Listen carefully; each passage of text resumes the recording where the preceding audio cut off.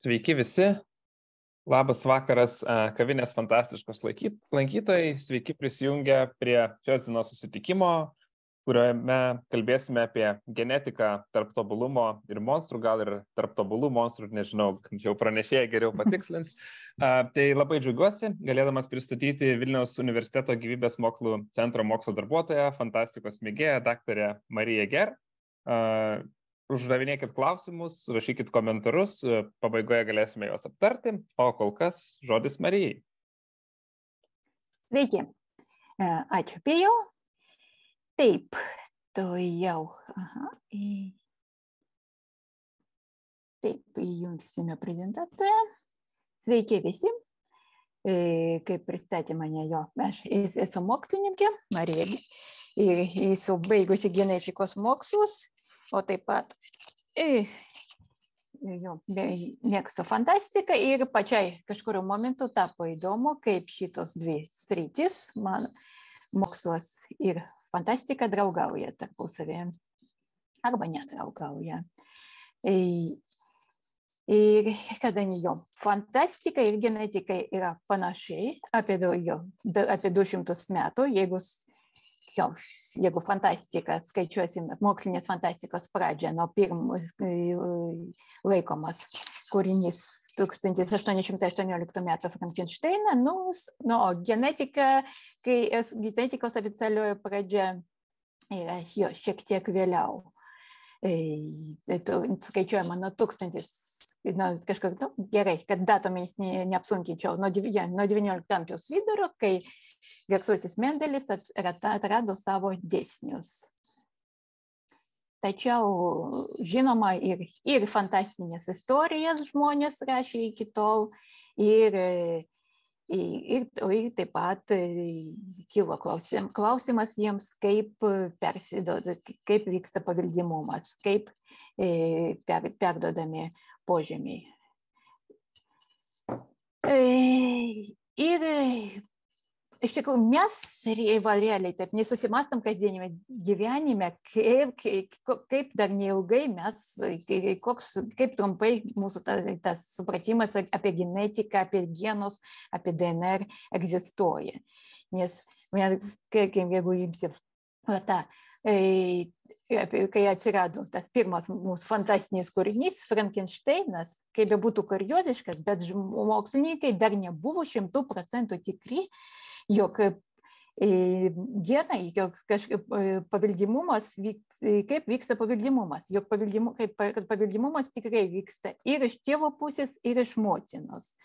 Nu taip, aišku, jie matė savame, aišku, kad vaikai yra panašus ir tėvą, ir motiną jau dar nuo Aristotelio laikų, nuo antikos, reiškia, jau vyravo teorija, jog vyras suteikia sėklą, tai yra kažkokia forma, idėja, būtent va, tą gal ką vėliau pavadino genais, o moters kūnas suteikia tik tai medžiagą kai tik tai dirba tai sėklai užaukti.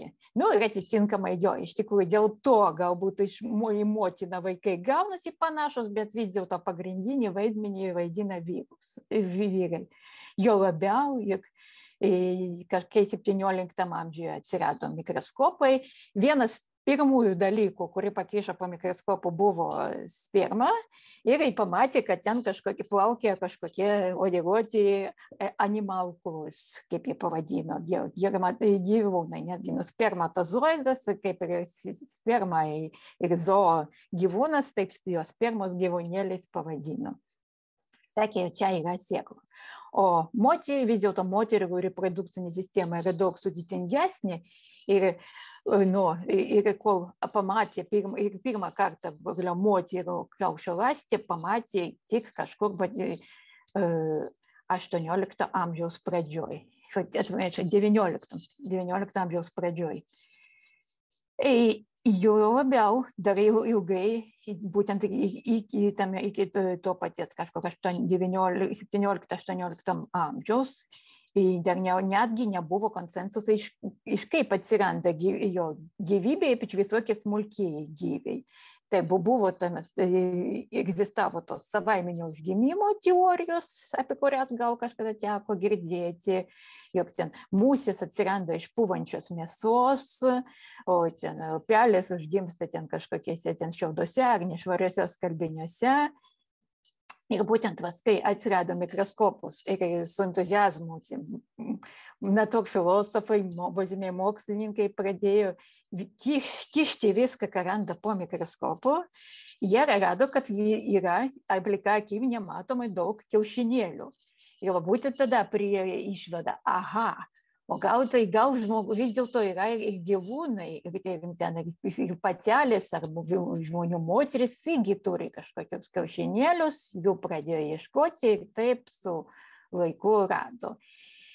Ir ir Nu, ir, ir taip, ir, ir, ir, ir be to, be to pradėjo jie vykdyti sisteminius stebėjimus, kaip jo gyvulininkystės, kaip, kaip pageidaujami kažkokie daujami brožai yra atrenkami veisliuose. Nors vėlgi praktiniu požiūriu tas kaip selekcija, visokių veislių išvedimas irgi vyko jau nuo senovės laikų. Tačiau būtent sisteminiai stebėjimai leido vis dėlto galutinai nutarti, jog taip pas mus paveldimumas vyksta ir iš moters, ir iš vyro.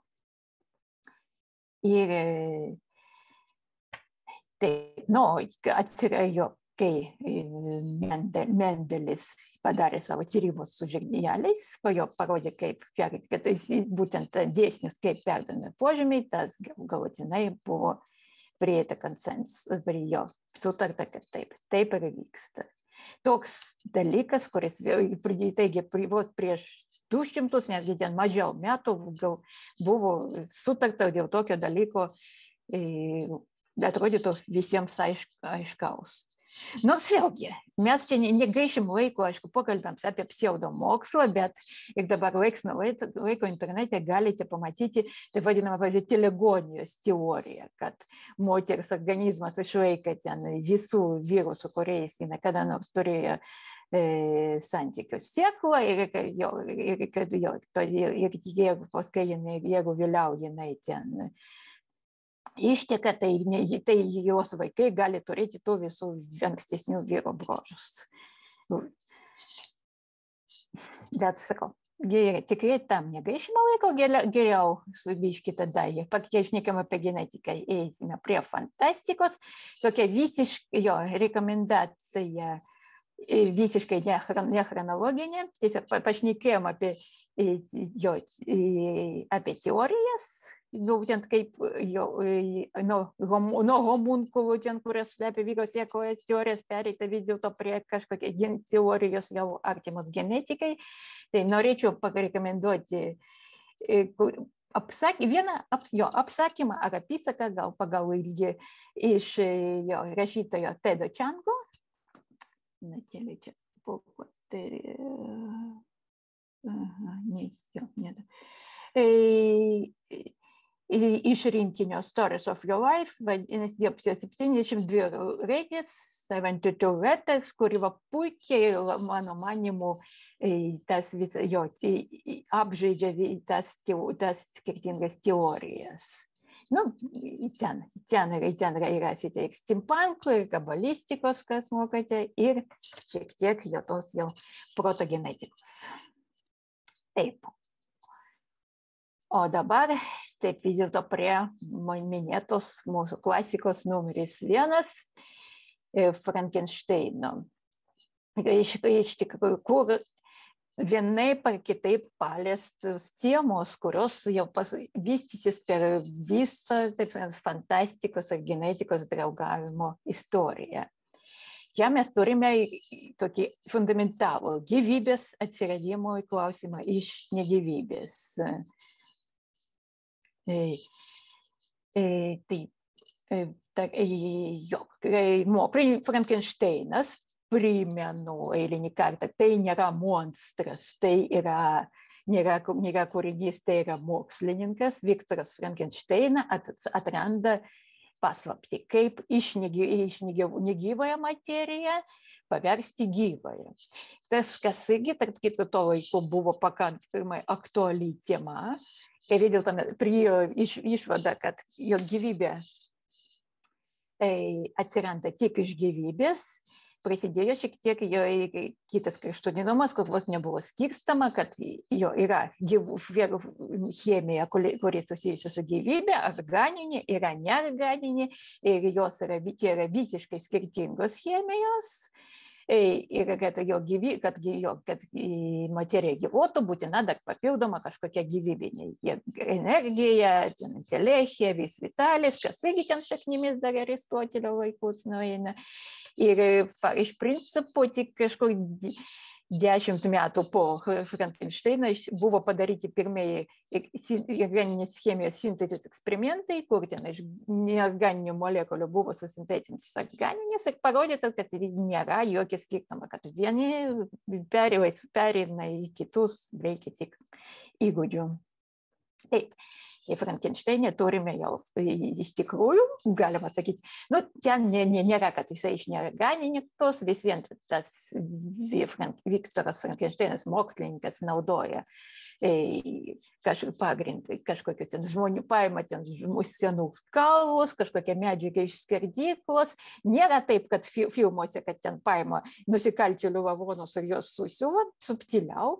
Ir iš tikrųjų jis, jis, jis siekia pirmą sukurti gyvybę Tai va, ir antra, jis, tur, irgi, jis siekia sukurti tobulą gyvybę. Jis, jis, jis, jis konstruoja tą savo kūną, kol jis, kol jis, kol jis, kol jis kūrė, jam atrodo, kad tai, jis, kad tai bus tobula gyvybė, bet kai prieina prie jo kai atgaivina ir ten būtybė jį pažiūri, nežmogiškom, geltonom akim, jis pasibaisėja, pabėga ir prasideda sužetas, kur ten toliau jau gal labiau medžiaga ne biologams, o psichoanalitikams. Kodėl jis taip bijo, kai, kodėl jis bėga nuo to savo kūrinio, kaip ten tas kūrinys atspindi jo kažkokius pasąmoningus norus. Et, Nu, ir iš ir dar dalykas, kuris galbūt dažnam mūsų kažką kuriančiam artimas, kol kažką darai, tau tas atrodo taip puiku, kai pamatai rezultatą, kažkaip gaunasi ne taip, kaip tu tikėjai. Taip. Ir taip, tai taigi turime gyvybės, jo, gyvybės sukūrimą, tobulos gyvybės sukūrimą siekia tema. Nu ir taip pat turime ir toliau, kai tai Frankensteino sukurta būtybė vėl susiranda savo kurėją, jin reikalauja, kad jam sukurtų moterį, nes jie, ta, ta būtybė nenori būti viena, vieniša. Ir jis pradeda kurti pas, ir paskui išsigasta, jog jis sukurs dar vieną tokią būtybę, padarą, baisybę, jie, pra, ir jie, jie, ir jie pradės dauginti ir šitą monstrų rasę, tai, sakant, iš, iš, užauks monstrų rasę, kur, kurie ten į, į, pradės kariauti su žmonija. Čia turime mes dar trečią temą. Tokie biški jau artėjom prie eugenikos, selekcijos ir, atsiprašau, rasizmo, kad taip, kad monstrai gali gimti, monstrai gimdo monstrus. Taigi, iš jos šitame viename, tai tokiame biški naivokame kūrinyje yra, jau turime jau iš karto kelių fantastikos tokių temų, tropų užuomasgą. Nu, kas nenuostabu, jeigu domėtis to kūrinio istoriją, apie jį iš tikrųjų, galima, iš tikrųjų, galima būtų iš tikrųjų visą va šitą mums skirtas daug maž valandą šnekėti vien apie Frankensteiną, bet gal, jeigu gal kada kitą progą. Bet jo, tai realiai tai rašyta, rašytoja Mary Shelley, iš, ir, jinai ir kilo iš labai įdomios šeimos ir, ir, ir bendrau, ir tarp jo, jos ir, pažįstamos rato buvo labai neįlinis, tad nenuostabu, kad jinai ten ir jo, kad tiek, tiek, tiek, tiek idėjų, tiek, tiek įdomių, tiek savo laiko aktualių jos kūrinėje rado savo atspindį. Taip, ir čia ir aš jo, rekomenduoju. Aišku, Frankensteinas turi daug ekranizacijų, bet aš rekomenduočiau vis dėlto perskaityti originalų kūrinį, o taip pat, kad čia pas mus būtų daug jau visokių e, meno žanrų, rekomenduoju, kada prie progos pamatyti spektaklį Frankensteinas, labai įdomus, faktiškai iš esmės dviejų žmonių spektaklis ir vaidina daug, daugelį žinomas Benediktas Kamberbečas ir Johnny Lee Milleris. Ir jie vaidina pakaitom. Vieną spektaklį, kur Kamberbečas yra pabaisa, o Johnny Lee Miller yra mokslininkas, yra, kur jie apsikeičia. Atvirkščiai, ir abu variantai yra puikus. Taip, toliau. Kitas klausimas, taip, dar ne visai. Nu, irgi prie, kaip ne prie genetikos, genetikoje negalima apsėti be selekcijos, atrankos ir glaudžiai susijusios evoliucijos teorijos. Dar prieš oficialiai, čia irgi dar vyks, vyks tokia šitokia tokia genetikos priešistorė, dar prieš Mendeliui paskelbiant savo dėsnius, kurie iš tikrųjų virš 30 metų, į kuriuos 30 metų liko nepastebėti, skuriozas. Jo, mes turime evoliucijos teorijos atsiradimai, kad Čarlzas Darvinas, keliauninkas, pats praktikuojantis sodininkas, ten labai pagarsėjęs savo orchidėjų, darbais su orchidėjomis. Ir toks mąstytojas, prie, jis iš tikrųjų net, jis netrado, jis nesugalvojo evoliucijos. Jau daugelis tuo metu vienaip ar kitaip svarstė, jog gyvybė nėra nekintama, jog rūšis vystosi ir galbūt netgi atsiranda naujos rūšis, kas buvo šiek tiek, netgi jo šiek tiek buvo ėjo prieš bažnyčios mokymą, prieš vaikų nuostatas. Tik nebuvo sugalvota, kaip, kaip vyksta gyvybės kitimas, būtent kaip vyksta paveldimumas, kaip vyksta atranka. Ir spėjau vėlgi nuo mokyklos vaikų prisiminsite tą jau labai pabodusi, pavyzdį, kurį visiems turiu pakartoti, kaip ten jo buvo vienas garsiausių teorijų buvo Lamarko apie ten žirafą, kuri tiesė, tiesė, siekdama pasiekti kuo aukštesnį lapų, tiesė, tiesė savo kaklą ir todėl jos žirafos vaikai užauga vis ilgesniais kaklais. O dar vienas pažiūrėjo, taip sakai, truputį apžvelgė savo kelionių stebėjimų rezultatus, kaip jis matė ten skirtingose salose, skirting paukščius, ten augalos skirtingomis savybėmis, ir pasakė ne. Iš tikrųjų, tiesiog žirafos, kurios turi, jau turi ilgesnius kaklus, turi daug geresnį prieigą prie maisto, prie aukštesnių, aukščiau augančių lapų ir todėl jie turi daugiau šansų sulaukti palikonių. Jiem jo, jie yra geriau prisitaikę, geriausia prisitaikiusi išgyvenimo teorija. Nu, ir, ir taip gali atsirasti, taip rūšis tobulėja, taip atsiranda skirtingos veislės ir netgi naujo, taip atsiranda naujos rūšis. Nu, ir čia matote karikatūrą jo dešiniai pusėje. Ir netgi kažkur jis ten labai atsargiai išsakė mintį, jog netgi žmogus galbūt išsivystė iš kitokių primityvesnių rušių ir kažkai kas užgriuvo ant ventiliatoriaus, kaip ir iki šiol, kaip žinome, ne visi gali nusiraminti, kaip čia mes kilę iš beždžionių. Tačiau, taip, tačiau paukštukai, augalai, žmonės iš beždžionių ir pradėjo, vis, dėl, vis dėlto buvo dėl tokia teorija, taip moksliškai buvo patraukli, kad gerai išplito, kad, kad, kad, kad išplito, labai greitai išplito, galėjo užkariavo populiarumo ir buvo pra, ir buvo taip ir prieita tokios nelabai linksmos išvados, kad jo jeigu visi brožai yra paveldimi, jeigu mes turim kažkokius gerus, naudingus brožus ir, jo, ir jie yra perdodami palikonims, o, je, o to, ką mes išmokstam per gyvenimą, tas palikonims nepersiduoda. Hmm. Tai reiškia, jeigu, jeigu savo žmonių tai populiacijoje mes prarasim žmonės, kurie pasižymi tomis geromis savybėmis, nu tai žmonija degraduos. Ir atsirado taip eugenika. Netgi kurios vienas pirmųjų, pir, pir, pirmųjų propaguotojų buvo Darvino, mes žinome, pusbrolis ar antros eilės pusbrolis Galtonas.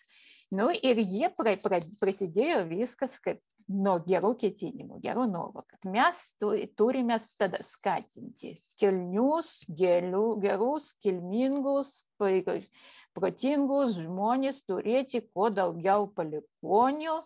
Buvo steigiamas tai Europoje, Amerikoje, eugenikos draugijos, labai propaguojama.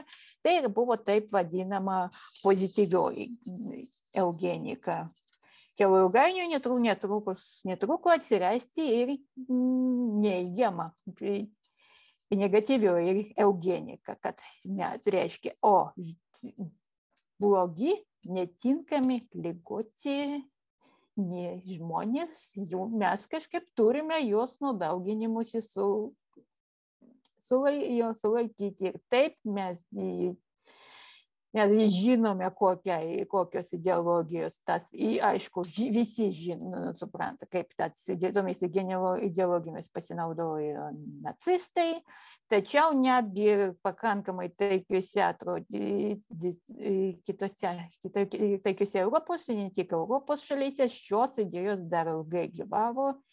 Ir turime priverstinio sterilizavimo istorijoje ir, ir JAV, ir Indijoje, ir, ir netgi ten Šveicijoje, Šveicarijoje daug, daug kur dėja.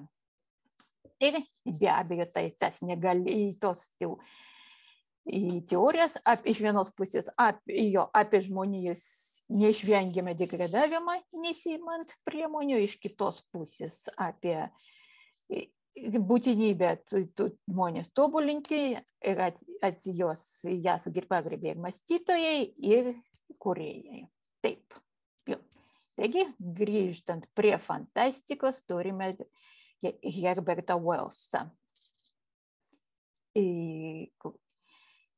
Iš vienos pusės, jo, va jau Taip, visų pirma, jo, jo iš tikrųjų netgi jo keliose kūriniuose yra kažkokių būt idėjų genet, jo apie genetiką, jo būdų į selekciją, pozityvę, negatyvę. Galima iš... Nu,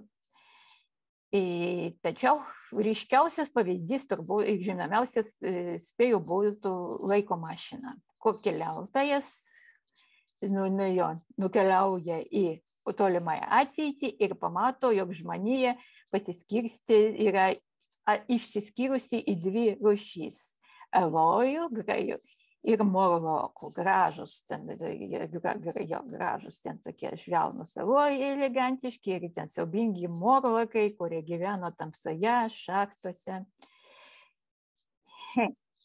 Ir, ir šitą mes šitą žinome ne tik iš knygų, čia yra pakankamai dažnai naudojama alegorija.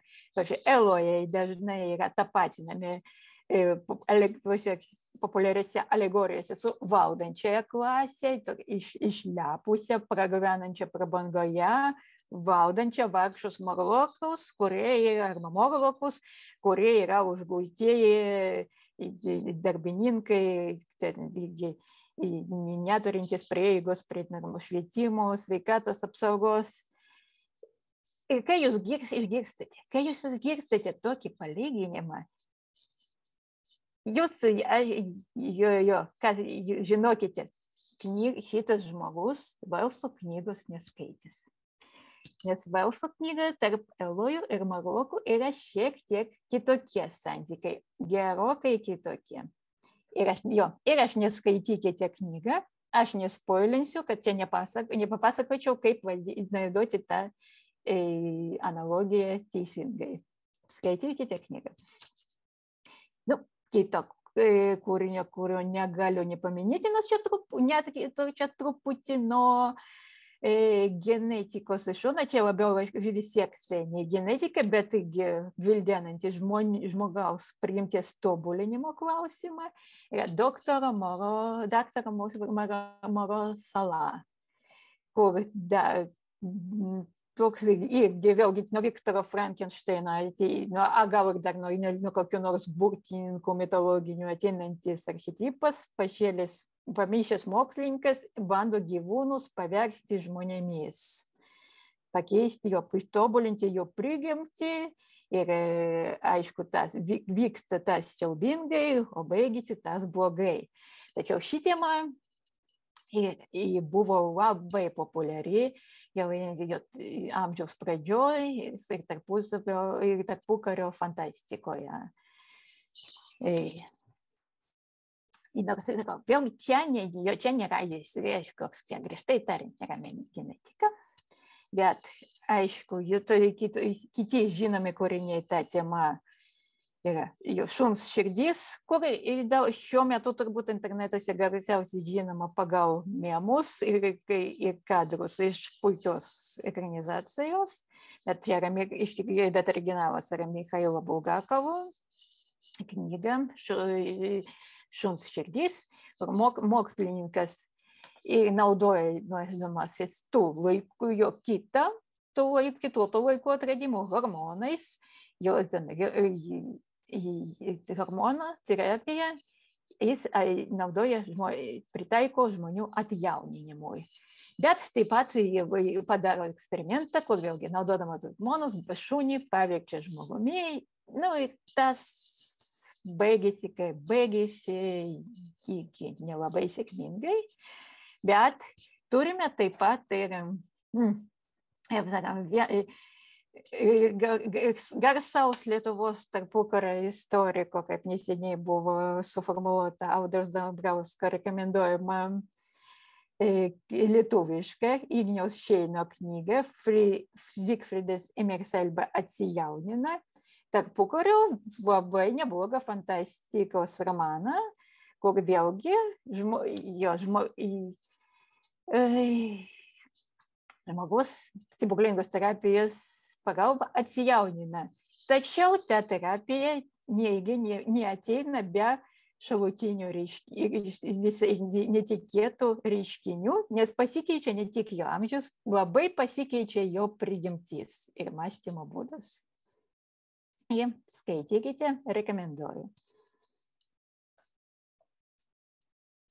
Taip, gerai pašnekėjome apie fantastiką, apie tarp jo, kaipgi pas mūsų mokslas tuomet lygiai greičiai vystosi. Jeigu prie jo, jeigu XIX amžiaus vidury, turime, turime e,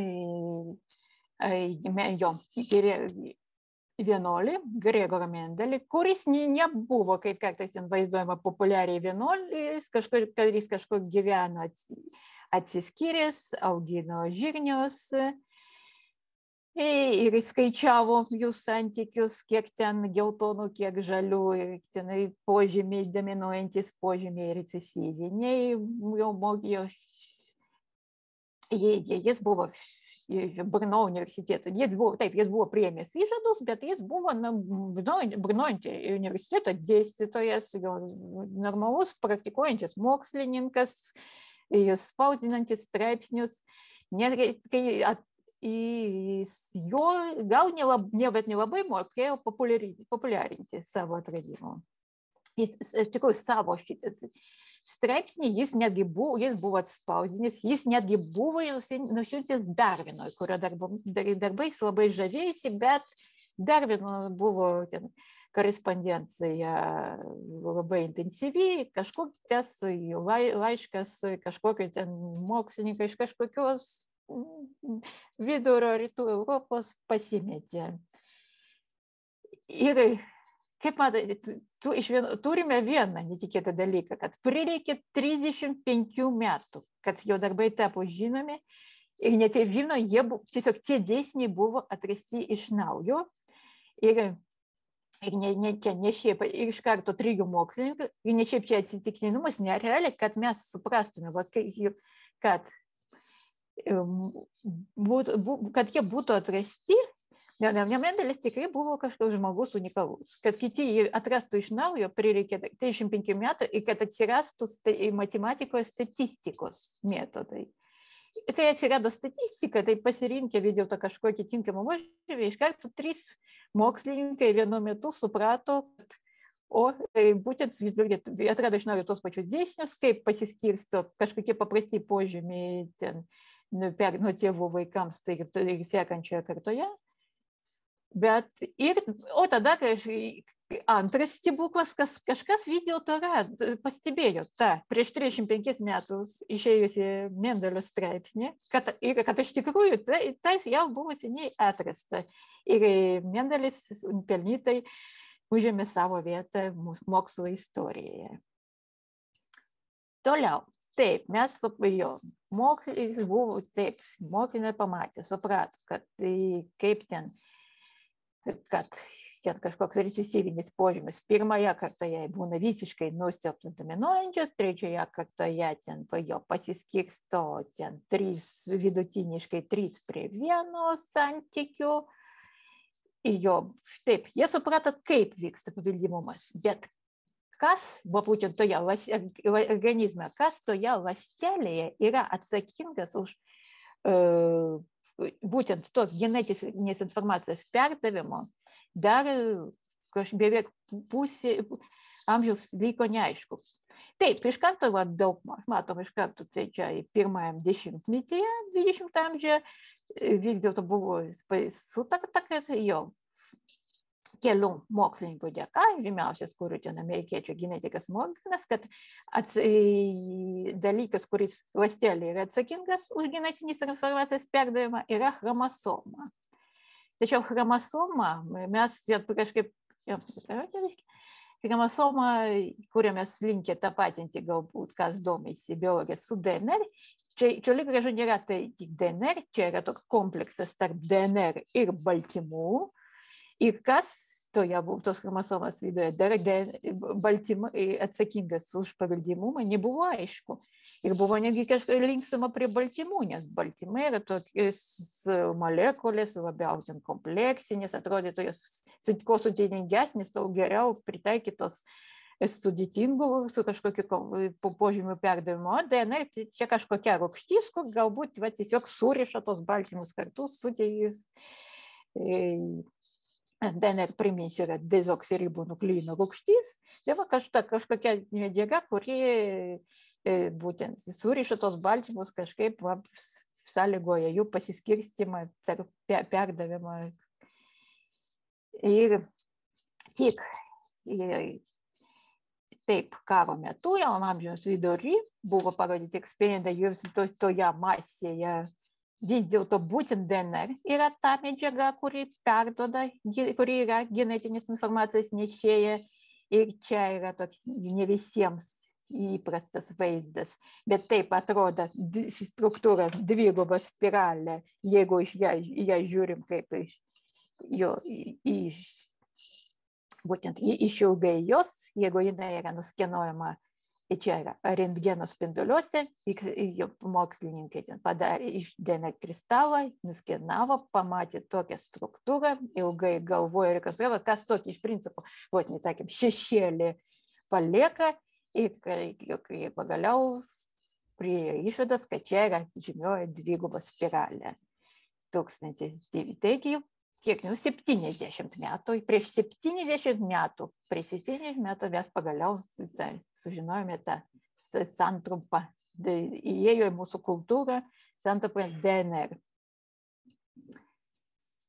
Ir, ir, ir, ir visas tas nuostabus mokslas, kurį turime dabar, genų inžineriją, klonavimą, žmogaus genomą, ta, vat, tada vat, faktiškai tai, kad jūs ten galite nu, pakrapštyti jo burn, prikrapštyti iš burnos lastelių, nusiųsti ir sužinoti, kur gyvena jūsų protėviai. Visą tai arba mes kalbame apie jau ten kažkokią genų terapiją, lygų gydymą. Visas tas mokslas išsivystė per paskutinius 50 metų. Nu, galbūt lygiai greičiai kitų technologijų mokslo, galų galia ten kompiuteriai, komunikacijos priemonės. Ir iš tikrųjų viskas jo sąlygoja vienas kitą be, be, be, be, be, kažkur, be, be skaitmeninių priemonių, be technologijų ne, nebūtų galėjęs ir kitą ir biologijos mokslas vystytis. Viskas čia yra susiję, bet visi tempai yra stulbinantis. Nu ir fanta, fantazija, fantastika irgi neatsilieka. Kai tik, netgi, va, tarkime, terminą genų inžinerija mokslui padovanojo irgi fantastika. Ir dar į ankstyvaisiais 40-ais, dar reikia laiko, kad mes, kad kai mes supratome vis dėlto, kas yra tas genas materialiai, kas yra jo medžiaga, kas tai yra materialiai prasme, jau Džonas Williamsonas nelabai žinomas kaip, galbūt kaip rašytojas, bet labai žinomas ten kaip, kaip, kaip, jau kaip fantastikos jo populiarintas aktyvistas, jis savo jo skaitosi, jog jis, jo, jisai pirmą kartą taip sufantazavo tokį dalyką kaip genų inžinierija. Taip, kas fantastika, fantastikoje tuo tarpu vis dar jo klestėjo ir senosios selekcijos idėjos. Turime kūrinį kopą, turime knygą išverstą į lietuvių kalbą, turime dvi ekranizacijas, čia palei kadrą specialiai iš senos ekranizacijos parinkau, nes kad nauja ekranizacija yra ir taip, ir taip sužino, žinote, sužinosite, kai išgirsite, kai antra dalis išeis, bet pirmoji ekranizacija labai spalvinga, verta dėmesio, kai kurių fanatų nuomonė, kaip, nu, kaip visada, anksčiau buvo, šita čia yra klasika, čia yra geriau, bet mano požiūriu abiejos yra geros. Taip, čia mes turime tokio tokią kultūrą, tokį biškį feudalizmą kosmose ir kur iš pirmaujosios ekranizacijos šito dar taip nežinome, bet kur iš principo jo Olbengės ryt ordinas vykdo, vykdo aristokratų selekciją, siekdami savo tikslui išvesti naują misiją. Ir be, bet dėl žmogiško faktoriaus nu, nutinka biški ne taip, kaip jie tikėjasi. Bet, nu, čia vėlgi, turime, turime tvarkę genetiką, turime klasikinę genetiką. Bet tuo pačiu vėjo jau skverbėsi idėjos ir ne, ne tokios klasikinės genetikos, kad galime kažkaip ir būtent, kaip sakiau, nuskambėjo žodis genų inžinierijos savoka jau nuskambėjo, mokslininkai dar neturi samprato, kaip tą daryti, bet fantastai jau fantazuoja. Tai, tai ir, ir, Star Trek žvaigždžių kelią, serialę kuris tai yra 60-ųjų serialas, bet, bet paskui buvo nufilmuota ir, ir, ir pilno metro filmų. Ir iš tikrųjų, jo, ten nuskamba idėja eugenikos karai. Tai yra jau žmonės. Nu, nepavadinti eugenikai, bet realiai žmonės, kurie iš tų patobulinti genų inžinieriją pagalba, pradėjo sukelia pakankamai jau kaž, kažkada tos, nu, žvaigždžių, Star Trek žvaigždžių kelias yra apie ten tolimą ateitį, 20, 24-25 amžių, o, bet jie, pasak jų, kažkur 21 amžiaus pabaigoje vyksta pradedam tobulinti žmonį, pradeda atsirasti genetiškai patobulinti žmonės ir jie sukilo prieš įprastus žmonės. Dėl to vėliau, ten, ten 23-24-25 amžiuje žmonių genų inžinierija yra griežtai uždrausta.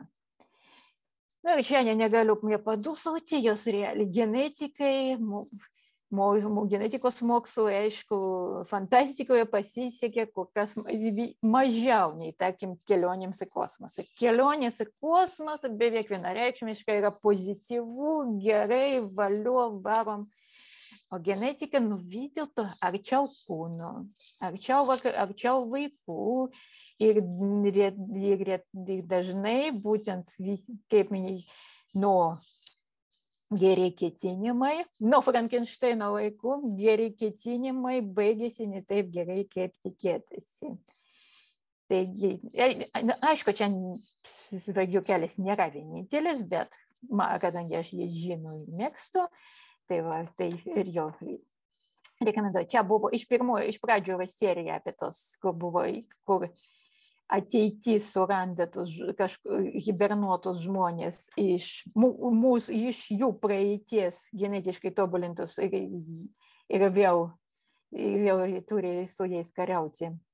Pradžiu, tai yra viena iš serialo serijų. Iš, serialas iš vis senais, tas pirmasis trek serialas man labai patinka, nes ten, manau, iš turbūt visi klasikiniai fantastikos tropai yra išnaudoti kelionės laikų, ten ir žmogus prieš kompiuterį, ir va šiuo atveju kaip būtent genetiškai patobulinti žmonės.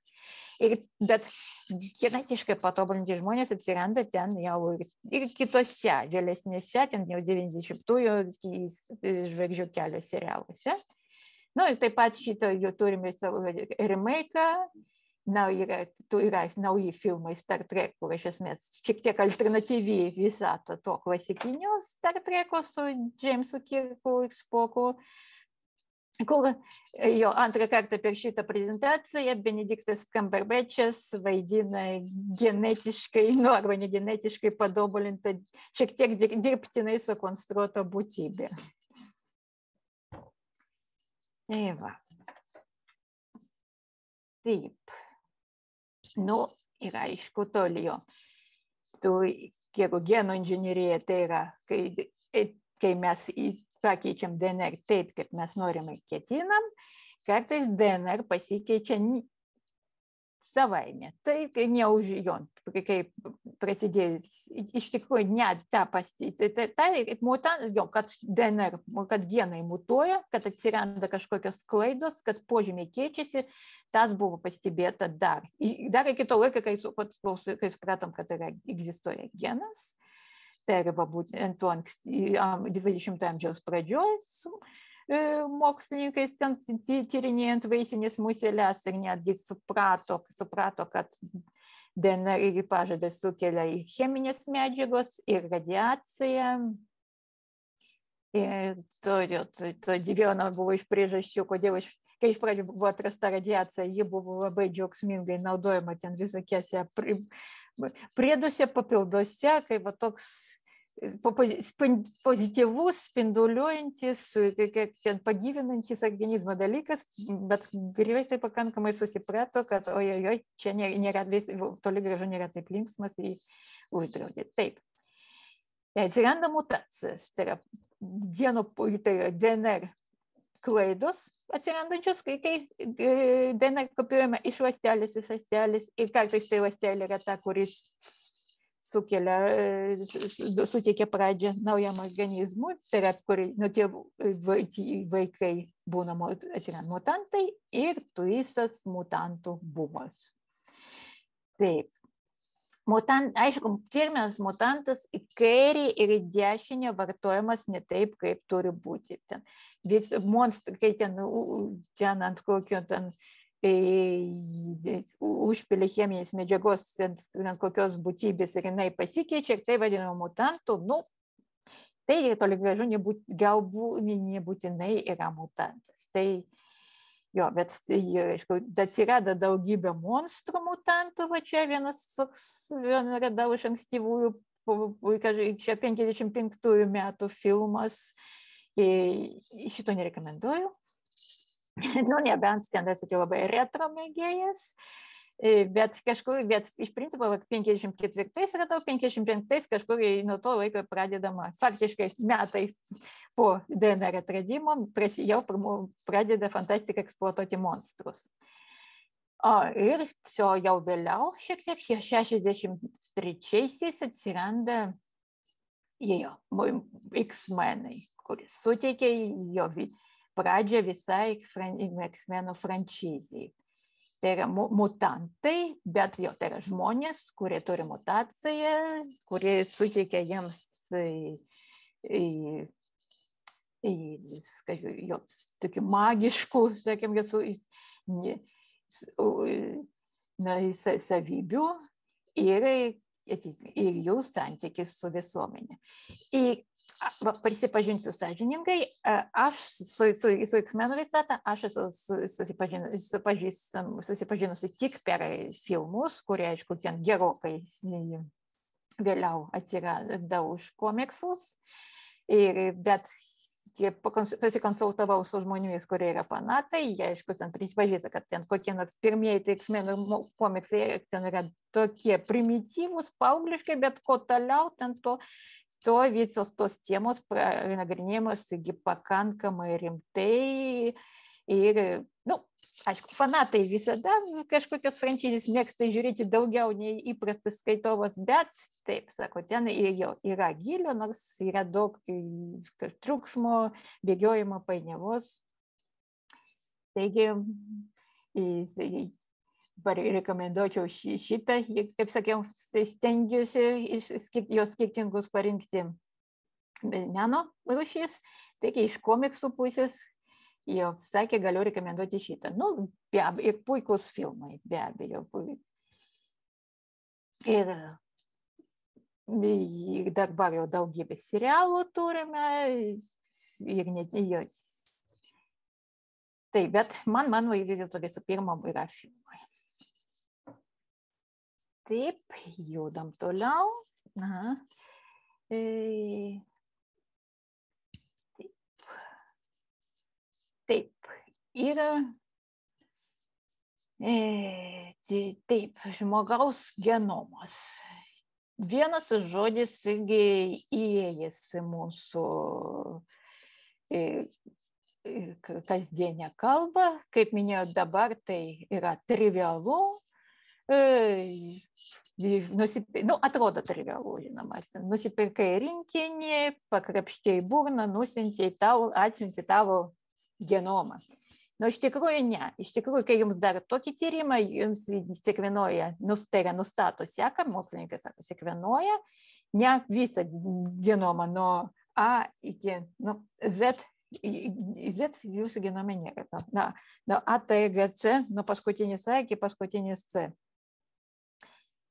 ne, jums nusikvinuoja tik tam tikras vietas, kur mes žinome, kad, kur žinoma, kaip kad jos linkusios dažnai kisti ir kad ir žinome, kaip sukoreliuoti jų kitimą su tam tikra žmonių grupė.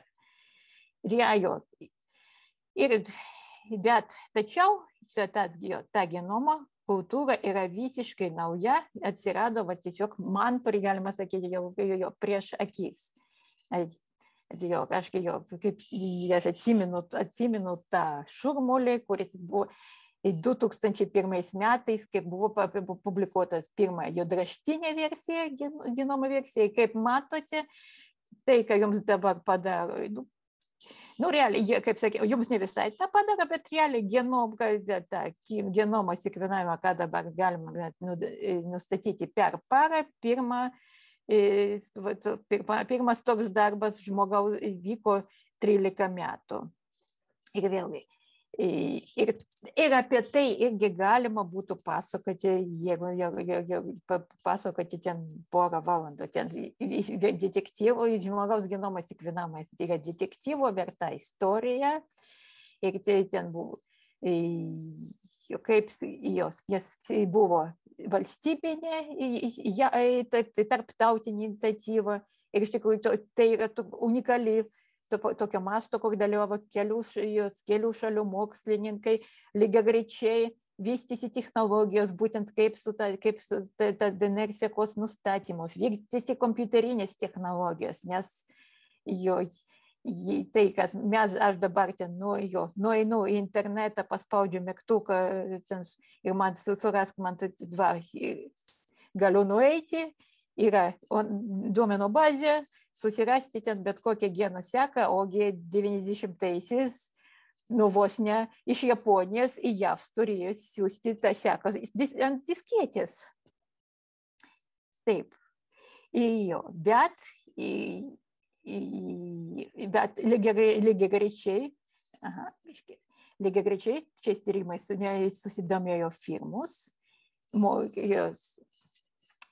nes ir iškylo klausimas, tarkim, jeigu komercinė firma atranda, jog kažkoks va toks genas, jo seka, jo variacija susijusi su lyga, ar gali ją užpatentuoti. Nes ir, tokie, ir toks, jeigu jie, jeigu jie gali, kaip jie, aš vienos patys, kaip jie gali užpatentuoti, nu kas yra mūsų kūno dalis, ne, neatsiejama. Iš kitos pusės, nu tai yra kaip ir jų atrasta nauja informacija. Jo, jeigu ir ir tinka, o jeigu jie to negali užpatentuoti, jie tam projektui nenorėjo duoti pinigų. Ir, ir jie pradėjo, ten buvo projektas, nu, kuris irgi iš dalies buvo remiamas valstybės, bet labiau orientuotas į komercinį taikymą, kur buvo, buvo konkuruojantis su to valstybių finansuojama tarptautinių projektų.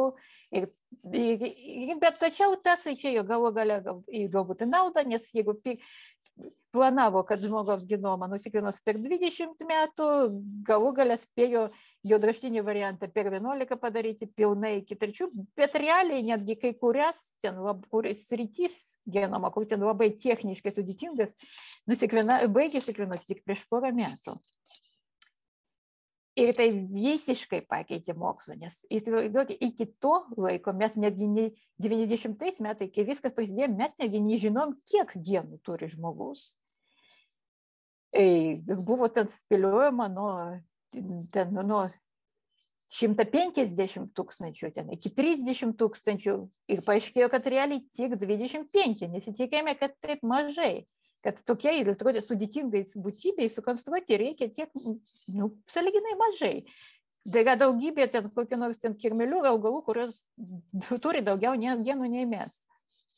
Bet, kad ir, iš, mes turime apie 2 metrus DNR, jeigu ten vis, vis, visos chromosomas ištiestume. Bet realiai už geną, kurį klasikinė prasme tai genas, kurį, nuo kurio kaip mokykloje prisimena, nu, nuskaitoma RNA ir susintetinamas baltymas. O, o baltymas, bal, baltymas tai yra faktiškai tokia materiali tos genetinės informacijos išraiška. Tai jis baltymai, nu, balt, iš baltymų va sudaryta oda, jo baltymai jo nulėmė, jo, kad jūs galite judinti raumenis, kalbėti, mąstyti, kad, kad, kad vyksta cheminės reakcijos, kurios jiems suteikia energijos. Kai kurie hormonai yra baltymai, o kurie nėra, kurie nėra baltymai, yra baltymų, kurie katalizuoja cheminės reakcijas sintetinami. Nu, tai yra pagrindas. Tai va, tas pagrindas sudaro vos vieną procentą DNR. O kas vyksta kitose dalyse, ten iš tikrųjų, dabar mes žinom, kad yra iš tikrųjų netgi gal nemaiko mažiausių, bet ta, ta kita DNR, jinai ten kartais ten vadinama šiukšlinė DNR, bet tai labai neteisingas terminas. Jinai užsima to, jog bent jau didžioji dalis, kad reguliuoja, koks genas, kada, kokiu metu, kokiamis sąlygomis įjungiamas. Kad jo, kad, jo, kad, jau, jūs, kad jūsų plaučiuose ten, kad plaučiuose būtų plaučiai, o ne ten oda galvas, kad, kad, kad jums užgytų, kad ląstelės pasikeistų jums užgytų žaizda, o ne žauktų karpą. Ir, kad, ir gerai, jau, jau aha, matau, atrodo, truputį. Ja. Žodžiu, ir tai, kad mes išbaigsiu to, jog mes, tai, kad mes turime tą genomo seką, ne, visiškai pakeitė, kaip mes darome mokslo ir netgi atsirado mokslo sritis, kurios be šitos informacijos būtų neįmanomos. Ir taip, ir aišku, tie fantastai pradėjo neišvengiamai galvoti, kokias problemas mums šitai, ne tik kokias privalumas mokslininkams, ar kokią pramogą ten mums atrandant savo protėvius gali atnešti šitas atradimas, bet ir kokie pavojai slypi. Nu, tai yra realiai problema, su kuria jau klausimas, problema, apie kurią galvojame. Taigi čia turime tokį jau krašt, nu, pakankamai kraštutinį variantą Gataką, fi, fi, garsųjį filmą, kur iš principo žmogaus, genet, jo, žmogaus genetinės savybės nulėmė jo, jo, jo tolesnį gyvenimą. Jeigu, jeigu tu turi tam, tam nusikveno geną, tu mato, kad pastavi, tu turi dieną, kuris tau didelį tikimybę, kad tu ten 40 metų mėgsi nuo širdies smūgio, tau tiesiog, nu, tau neleidžiama užimti kažkokių atsakingų pozicijų, ne, kad visuomenė nereikėtų į tave pernelyg investuoti. Tokia, bet, kaip parodo filmai, kaip ir iš tikrųjų yra genai klausimas didysis genetikos, kiek va, tai mūsų savybės lemia genai, kiek aplinka. Nu ir tas filmas, kiek vis dėlto tą idėją išvystė, kad nu negalima remtis vien genais. Gerai, genai yra ne viskas. Ir čia yra, kaip minėjau, kad didysis klausimas, kuris iš kitos pusės mus gelbsti nuo kažkokios genetinės distopijos vis dėlto genai lemia ne viską. Ir genai, ir aplinka, tai vis, jo, vis, tik to kombinacija sąlygoja tai, kad mes esame to, to, tokie, kokie esame mes, kaip ten vienas kandidatas į valdybę šnekėjo. Taip, gerai. Genoj nu, ir šiek tiek gatakoje jau buvo motyvas, kad ten neklystų, kad ten kai kurie žmonės buvo ne tik tyriami genetiškai, bet ir genetiškai modifikuojami, bet labai labai nuodugniai šitas klausimas išvystytas genų, žmogaus genų inžinierijos knygoje Change Agent. Trileris man, jo, man labai patiko ir kažkada netgi mūsų kan, jo, real, realiausias kandidatas kažkada į Nobelio premiją, Nobelio premiją profesorius Šikšnys irgi šią knygą rekomendavo. Taip, va čia dešiniai matote paveikslėlį, kaip žmonės įsivaizduoja genų inžineriją. Jo, mokslininkas pažiūri pro mikroskopą, išvinioja DNR, ten kažką ištraukia, įstato, ir tai yra visiškai wrong, neteisingai o čia daugmaž realiai genų inžinierija yra specialiųjų ten būtent fermentų pagalba atliekama ir iš principo tai yra jūs, tai, kai jūs iškerpat ar išstatot geną, jūs darote cheminę reakciją. Jūs mėgintuvėlėje supilat skistimėlius, nu, jų būna čia, čia dėl grožio tokia iliustracija, realiai tos skistimėlių dešimt kartų mažiau būna. Uh, jūs padarot cheminę reakciją, jūs visiškai nematot, ką jūs gaunate. Ir jums toliau, jūs va čia suplanuojate, kad turite gauti, toliau jūs čia ir toliau vykdote įvairiai analizė, įvairiais biški metodais, kuriems vėlgi neparodo tiesiogiai sekos iš pradžių kad jūs vykdote preliminarią analizę, kad įsitikintumėt, kad yra didelė tikimybė, jūs gavote, tad gavote.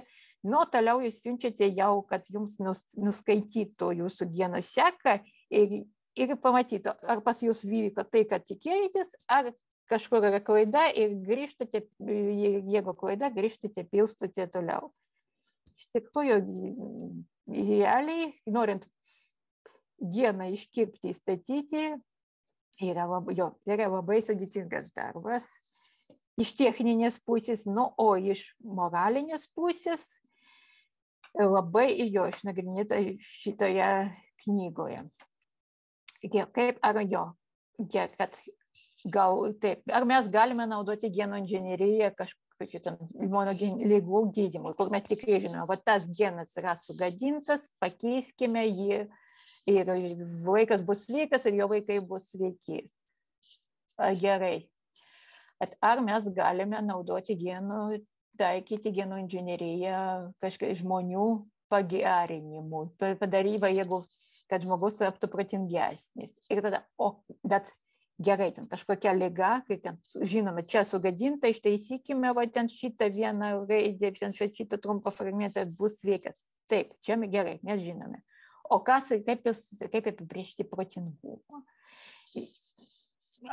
Jo, okay, ten nes nu žinome tų vėlgi iš išpopuliarintų iškreiptų pavyzdžių ten žmogus su aspergerio sindromu jis genialus matematikas bet turi bet bet turi savo ten problemų su emocijomis su integravimosi visuomenėj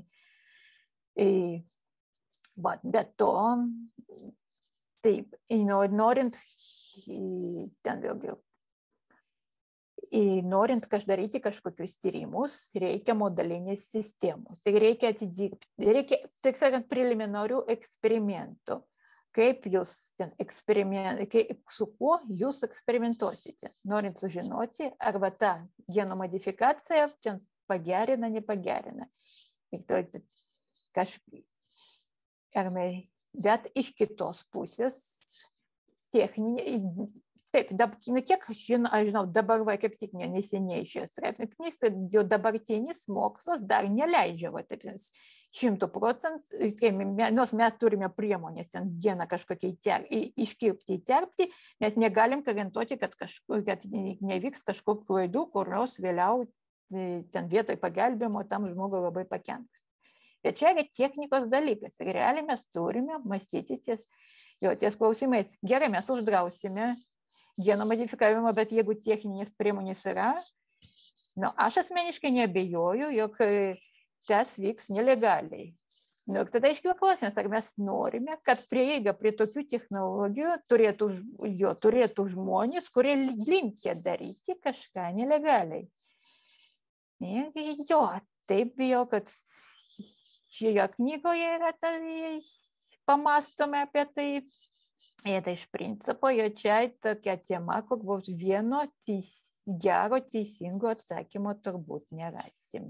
Toks kažkada, kažkada tas reguliuoti reikės ir neužilgo. Taip, nu gerai. Aha, truputį jau užtrunku ilgiau, ilgai, bet taip, taip žinokit, aš jau taip, taip trumpinau paskutiniu metu, tai momentu savo pasakymą, taip trumpinau. Taip, Kitas su genetika susijęs tema klonavimas. Taip, iš tikrųjų dalykas, kuris, kaip matote, jo iš daly fantastikoje atsirado gerokai, gerokai anksčiau nebuvo padarytas, buvo jo mokslo į, į, taip sakant, įgyvendintas.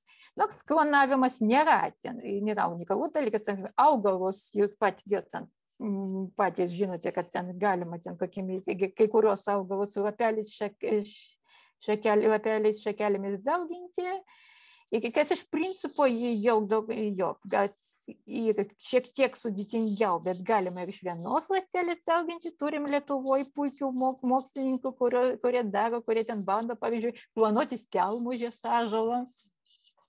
Tai yra, techniškai tai yra jau sudėtingiau nei ten nuplėšti lapelį ir iš jo išauginti augalą, bet daroma, daroma.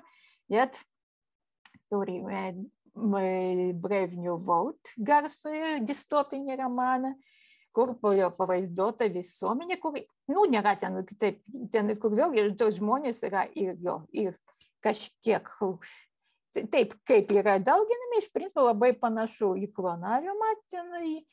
Yra jo genetiška modifikacija, modifik, nu, nėra ten dar genetinis modifikacijos, bet jau ten, tarkim, jeigu iš, jau paima apvaisinta kiaušialąstė ir jeigu iš, iš pilnos kiaušialąstės užaugina žmogus, tai ten gaunasi jau to aukšti, aukšti alfa arba beta, aukštesnis visuomenė, aukštesnio visuomenės sluoksnio žmogus, o jeigu ten tau kiaušialąstė ten zigotai va, vadinama ta pirmoji organizmo ląstelė, leidžia pasidalinti į aštuonis dalykus, nes, o, kaip gerai, mes iš vienos galim išauginti net aštuonis žmonės, tai ten jau gaunasi jie biški su defektais, tai ten toks gaunasi aptarnaujantis personalas, ten jau epsilonai ir ten bėgos žemesnis dar kastos. Na, ir iš principo labai lyjo knyga, iš principo, jeigu ten kokie nors, kai, kai, kokie nors labai pažangus leftistai ten nori užvažiuoti ant ten konservatorių, tradicionalistų, jie sako, kad jūs, nu, ten, jūs norite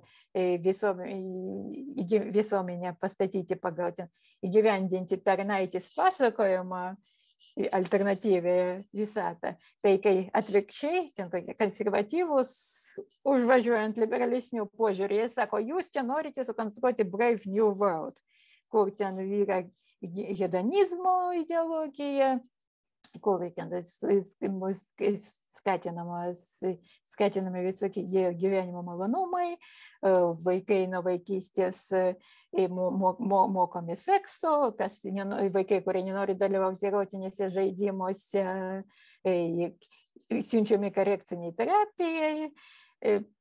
Nu, o bet ir taip, čia, čia, taip, čia, čia knygos reklama, bet visiems siūlau irgi paskaitykit, įdomu. Yra serialas, serialo dar nemačiau. Dėja.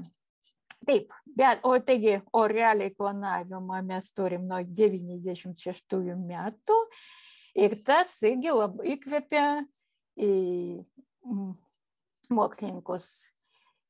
Taip, nu, netgi šiek tiek anksčiau tie eksperimentai čia va, jo, pamiršau dėti prezentaciją, bet be abejo negaliu nepaminėti Jurassic Park, jūros periodo parko, kur naudojant klonavimo technologijas ir ten iš dinozauro laikų išlikusią DNR. Taip, tokios senos DNR dar neturime, biškai gal nuraminsiu, jie atkūrė prieš 65 su kalbu milijono metų gyvenusias būtybės. Bet taip pat jo, taip, turime idėją, kad klono, idėja, kaip idealių karių klonavimo. Ir jo, vienas ryškiausių pavyzdžių yra ten viena iš žvaigždžių karų franšizių, kur paėmė ten va, jo labai garsų į karį ir, ir, ir iš jo planavo visą armiją.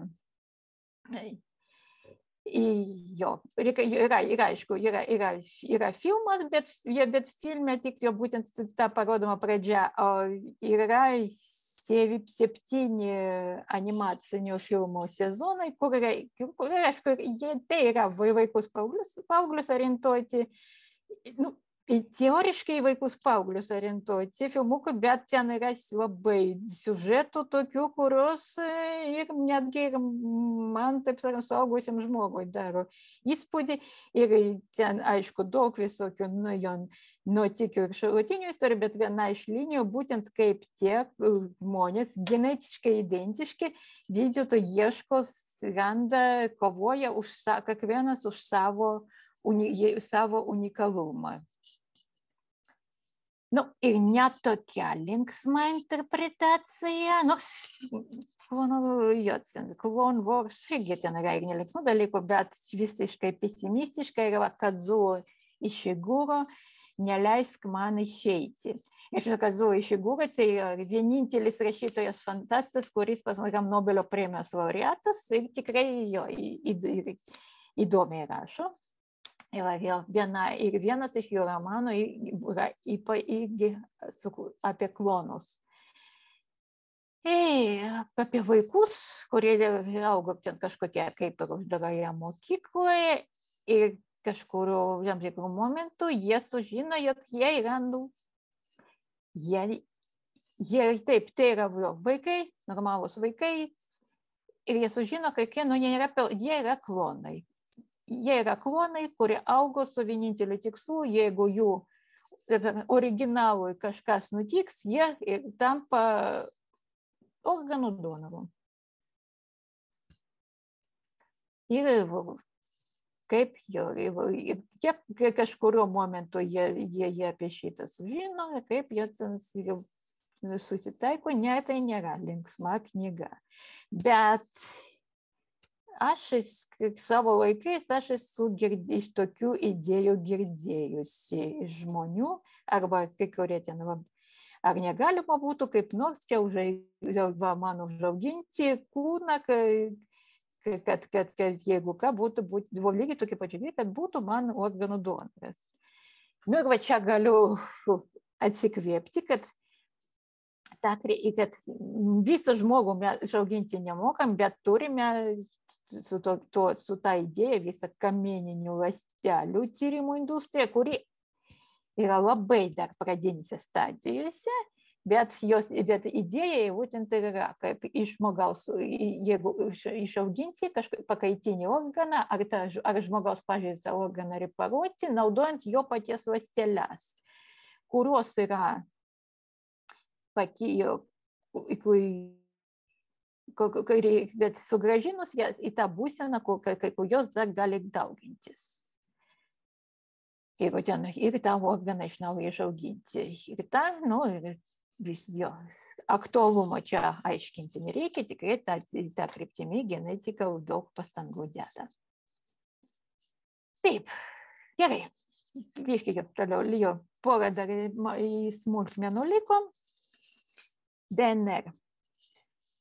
И, taip, mes jo turime chromosomas, turime žmogaus DNR rinkinį, tačiau vas, savo laiku, vas, dar grįžtam į tą 19 amžių, kur buvo atrastas, pirmą kartą atrastas žmogaus kiaušialąstė, netgi kurį momentu buvo jo vystama idėja, kad jeigu iš pradžių mane, kad vyras atneša sieklą, moteris suteikia medžiagas vaikui užaukti, kai pamatė skirtumas, ten spermatozoidas yra labai maža ląstelė, kiaušialąstė yra milžiniška, galbūt atvirkščiai, galbūt ten, galbūt, galbūt pagrindi, vis pagrindiniai informacija genetinė ateina iš moters, o ten, o ta, ta, ta vyro sėkla tik ten kažkokį impulsą suteikė.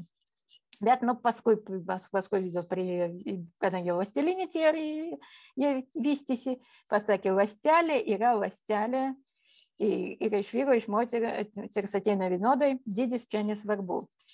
Bet 20 amžiaus pabaigoje sužinojo, kad vis dėlto iš motinos vaikas gauna šiek tiek daugiau genų. Žinoma, kiaušialąstė lieka visi ląstelės komponentai. Iš, iš spermatozoido ateina tik genetinė medžiaga, o kiaušialąstė lieka visi kompon, ląstelės komponentai, tarp jų ir mitochondrija. Taip, mitochondrija mokykloje, tas mitochondrijos, kurios yra ten vastelės jėgainės. Ir jos ten turi tokią atliką, kaip sako, taip, atgyvena evoliucinė kaip savo DNR, kuriuose yra ten apie 40 genų. Taigi, jeigu turim ten iš tėvo 25 tūkstančius genų, iš motinos 25 tūkstančius genus, tai va iš motinos ateina dar plus 40 medieną iš mitochondrijų. Ir, ir iš tikrųjų tas yra svarbu. Gali būti, ypač gali būti svarbu, nes kai, ką, kai tie genai yra pažeisti, kai kurio iš to išsivysto, tas, tos pažaidas sukelia kai kurias lygas. Ir šiais laikais, ir ne visose šalyse yra legali, bet yra toks reiškinys kaip trijų tėvų vaikai kai motina va, turi tą pažeistas mitochondrijas, paima kiaušialąstį iš vienos moters, iš, jo, į, į, į, įkelia DNR jau tos, tos moters, kuri nori būti motina. Į, į, trečios, iš, į trečio tėvo, arba atveju antros motinos, tarkim taip, kiaušialąstį. Ir taip galva, gaunasi, kad tos 40 genų žmogus gauna dar iš trečio asmens. Čia jau medicininis faktas.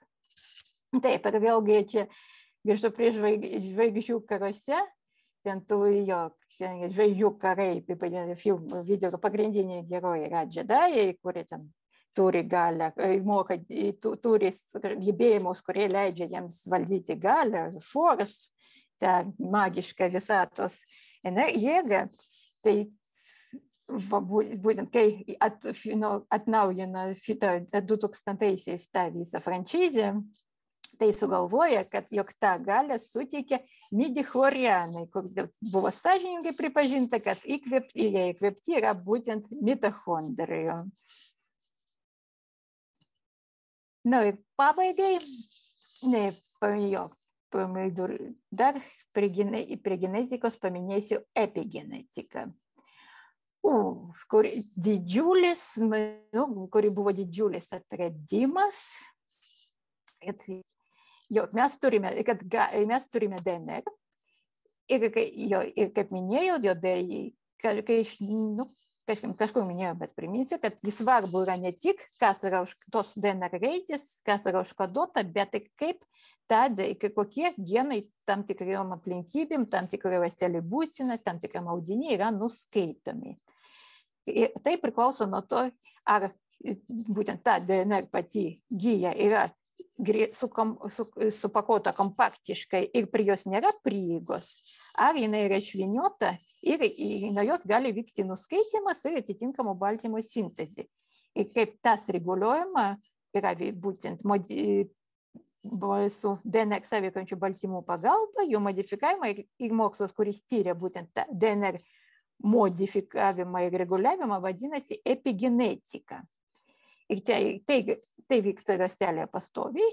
Ir bet įdomiausia dalykas, kad būtent, kad kartais tie, tos savybės gali būti perdodamos net nuo, ne, nekeičiant DNR, DNR sekos, netgi nuo, tėv, nuo, nuo tėvų, vaik, nuo, nuo vienos ląstelės organizme kitai, kitai jos gali būti tiek fiksuotos, kad jeigu vieną, vieną kartą įvyksta tas epigenetinis poveikis ir jis išlieka va toliau visose sekančiose kartuose.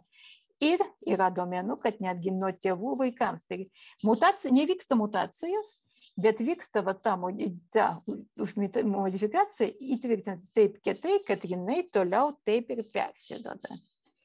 Ir paskutinė mano rekomendacija būtų Nilo Stevensono, labai produktyvaus fantastikos rašytojo knyga, septynios jėvos, Seven Ifs, kur yra, nu, ten, jo, net pasakosiu, ten daug vyksta, katastrofa, žmonės žudys, tai vis labai jo susuktas siužetas, kur jo, galų gale žmonija turi e, būti atkurta iš septynių moterų, ten, aišku, ten visas genų inžinierijos arsenalas paleidžiamas yra į darbą, bet viena iš jų, iš tų moterų, būtent savo palikonėms, būtent įvairių įvairovė jų geresniam pritaikymui, suteikia galimybę ir pasikeisti, nekeičiant savo, būtent, būtent per epigenetikus modifikuojant, modeliuojant savo epigenetiką. Būtent ne ne kas yra genuose, o kaip ir kokie genai yra tuo metu parinkami.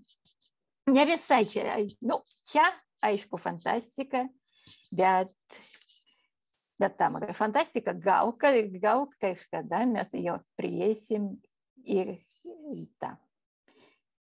Jo, taigi, e, pabaigai, jo, taip, kadangi aš tikrai norėjau papasakoti daugiau, bet atsiprašau, jau taip jau, jau užtruko šitą mano šiandienos prezentaciją, taigi jo, atsiprašau, kad jo, nepaliečiau daugybės tokių įdomių temų, kaip ar elfai, Tolkieno kūrinys, ar elfai, rokai yra tas pats, ta pati rūšys. Atsiprašau, niekaip nekalbėdami apie mutantus, nepaminėjau vėžliukus nindzės mutantus, kurie, nu, jie, ne, nu, nes jie, jie, realiai jie nėra mutantai, bet, ja, bet jie yra jau populiarūs ir mėgstami. Nu, ir kad visiškai nepaliečiau tarp, parenkant čia skirtingas rūšį, meno rūšis, nepaliečiau kompiuterinių žaidimų, nes pastaruoju metu labai mažai žaidžiu, nors paminėsiu, kad ten, kai žaidžiau StarCraftą, labai mėgau žaisti už zergus, nes tai yra jo tik, jo, tikrai labai smagiai išvystyta rasė, kuris sugeba keisti ir pritaikyti savo biologinės savybės. Biologija ir genetika tie yra fantastiški. Tai tiek. Taip, Pijau, ar turime klausimų? Taip, ačiū labai už įdomų pranešimą, tikrai visai neprailgo. Ir klausimų turim. Tai e, vienas iš jų yra, koks procentas žmogus genų dirba ir ar įsivaizduojam, kas lypi tuose genuose, kurie nėra aktyvuojami? Kažku, jo, procentai, taip, dirba, jo, jeigu kalbame apie baltymus koduojančius genai, tai dirba vienu, dirba visi. Tie, kurie nedirba, mes naudojame, vadiname pseudogenais. Ir mes, kokia jų funkcija, jie gali, čia gali būti arba kažkokie būtent evoliuciniai reliktai, likę, kad juos turėjo mūsų protėviai, bet mums jie nebereikalingi, o kai kurie galimai nereikalingi reguliaciniai funkcijai, kad jie vietit, kad jo, tarkim, bet vienu metu lastelėje nu sakyčiau jo ka kažkur aktyvūs yra apie apie pusę genų kaž jeigu kai mes darom mes aš dirbu su baltymais jau genų produktais ir kai mes padarom skanuojam pilną profilį kas yra ten viename ląstelių tipe mes kažkur virš dešimt tūkstančių randam tų baltymų iš skirtingų genų nustatomų yra kažkur apie du trys tūkstančių yra taip vadinami konstitutyvūs kurie yra būtini kiekvienai ląstelei o likę tarkim čia septyni tūkstančiai tai yra būtent tie kas tie genai kurie kiekvienai ląstelei kiekvienam audiniui kažkokiam organui to organo būsenai suteikia unikalumą kodėl ten jau smegenų ląstelė nėra panaši į kraujo ląstelę ir panašiai Taip, kai jo, taigi, nu, yra daug, taip, yra daug, mes randam fiziškai baltymą, bet realiai yra tikrai daug, kurių funkcijų dar nežinom ir taip, pamažu, jo bandom nustatyti arba pagal analogiją su, su, su greitimu, su kitomis rušimis, bet kai kur, jo, arba nu arba tada arba kokią naują funkciją jie atlieka jo tarkim baltymas kuris ten turi yra bakterijoje bet tikrai mūsų organizme nu tokios funkcijos negali atlikti ką jis jo ką jis gali daryti naujo kam būti gali būti panaudotas mūsų organizme. Gerai, ačiū dar yra pasitikslinimas, kad 25 tūkstančiai ateina iš motinos ir tiek pat iš tėvo, tai viso 50 tūkstančių kiekvieno 25 tūkstančiai turim, mes kiekvieną turim po dvi kopijas. Tie aleliai, tai yra tas, kad jo, žirni, jo Mendelio žirnis žalias ar geltonas, čia nulėmė tas pats genas, tik skirtingos jo variacijas, vadinamos aleliais. Dėkui. Ir dar klausimas, mutacijos sindrome, ar jas įmanoma vertinti ir kaip? Vertinti. Nu, mes taip, žinoma, mes ja, taip, ja, mes jas nustatom, jeigu sekvenuojam tą pilną seką su, su intronais. Ir tuos, realiai tai gali būti, kad intronas irgi nėra šiaip kažkokia šiukšlė, kurią reikia išmesti. Intronai labai dažnai turi reguliacinę funkciją ir mes jie žinom, ten kai kurias ten ligas arba ten į kažkokį sutriki, jos sutrikimus, kurie nulemti yra būtent ne baltymo sekos pokyčio, o būtent pokyčio intronė, kad, kad, sutrin, ta, sutri, su, kad yra sugadinta ta seka, kuri atsakinga ten už geno įreguliavimą. Tai Ačiū, panašu, kad klausimų šį kartą tiek. Dėkui ir už pasakojimą apie genus ir už rekomendacijas, svarbiausia, fantastiškas, e, fantastinės. Ačiū visiems prisijungusiems. O Ačiū. apie vasario mėnesio kavinę fantastišką informuosime netrukus, sekite naujienas mūsų Facebook paskyroje. Ačiū mhm. ir gerą vakarą. Ačiū dar kartą visiems. Iki malonaus.